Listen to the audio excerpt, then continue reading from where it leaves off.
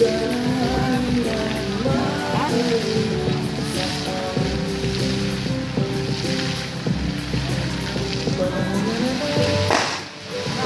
Bakit? Bakit?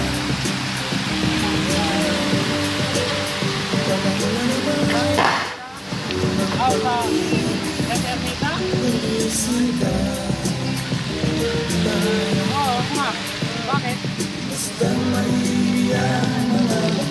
Bakit? Oh, sorry, sorry. Nalito ko sa ano ngayon?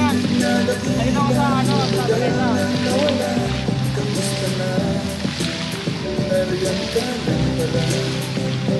Ha? Hindi ba namamalayan? Wala namang nararamdaman. Hindi ka na hanap?